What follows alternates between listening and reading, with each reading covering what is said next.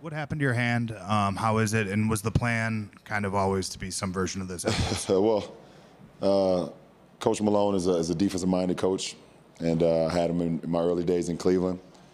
And I told him I would get one stop tonight for him, and uh, try to get one little chase down block and got my finger caught in the rim.